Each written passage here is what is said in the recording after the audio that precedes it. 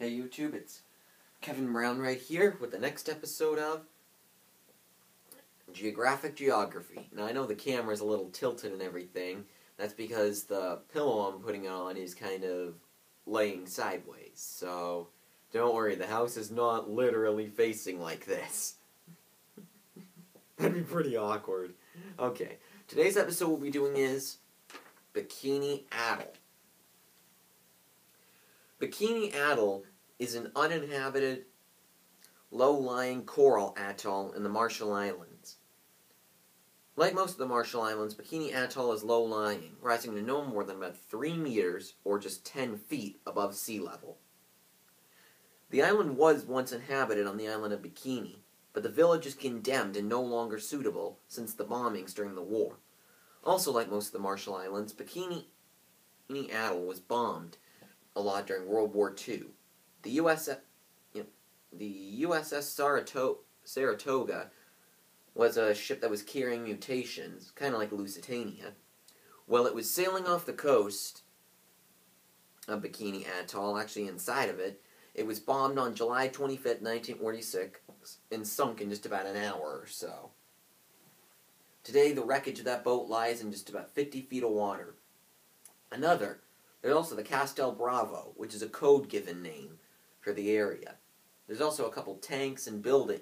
There's also a couple tanks and other stuff that lie below the water.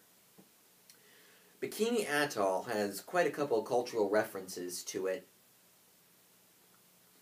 such as the Naval Club there that meets in one of the buildings on one of the abandoned islands every couple of months just to swim in the lagoon. Bikini Atoll does have a lagoon, I think, in the northwestern area of it, or maybe just the northern area. They say that because of radiation sickness with the bombing, swimming there might minus three months a year, might take away three months of your life. But hey, it's a nice swim.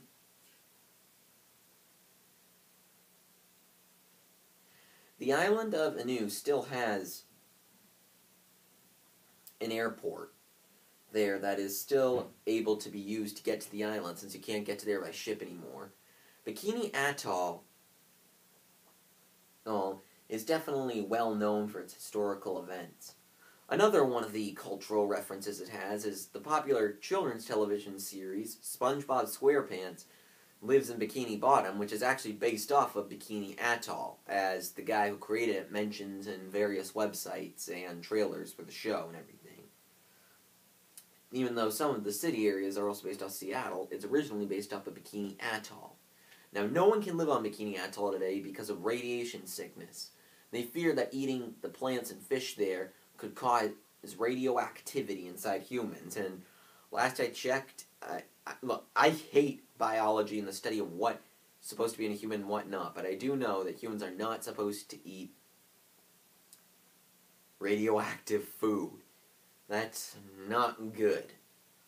So yeah, Bikini Atoll is rarely visited today, and the people who lived in the village were dismissed after the village was condemned. As of 1977, the island is safe to walk on, but not safe to live on because of the food radiation, so the people there decided not to resettle. As of August 8, 2010, or August 3, 2010, the island was listed by UNESCO as a, as a World Heritage Site, so therefore it's now completely uninhabitable and inhospitable. So, yeah, basically don't live there. It's not a great place to live because of the food radiation sickness there. Overall, I find Bikini Atoll pretty interesting with all the attacks it received and all its cultural references. Well, that pretty much wraps up this episode of Geographic Geography. Next episode, I'm going to be doing Yellowstone National Park. See ya.